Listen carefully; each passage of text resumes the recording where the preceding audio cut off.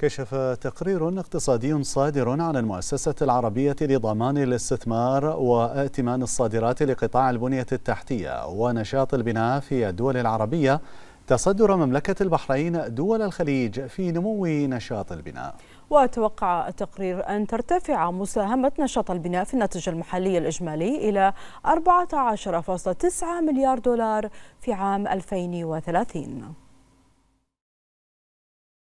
تواصل مملكة البحرين العمل على تعزيز قطاع البنية التحتية. وفي هذا الصدد كشف تقرير صادر عن المؤسسة العربية لضمان الاستثمار وائتمان الصادرات لقطاع البنية التحتية ونشاط البناء في الدول العربية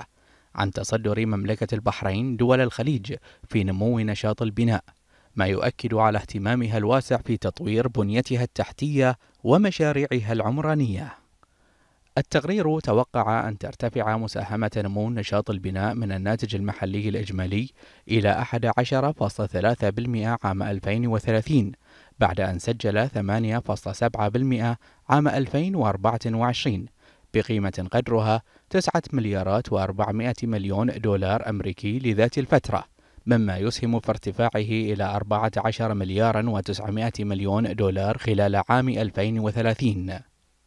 كما كشف التقرير عن تصدر ثلاث شركات بحرينية لقائمة أهم عشر شركات مستثمرة في نشاط البناء في الدول العربية خلال الفترة من 2003 حتى 2024 حيث جاءت مملكة البحرين ضمن أهم الدول العربية المستقبلة للمشاريع في نشاط البناء خلال الفترة من 2003 حتى 2024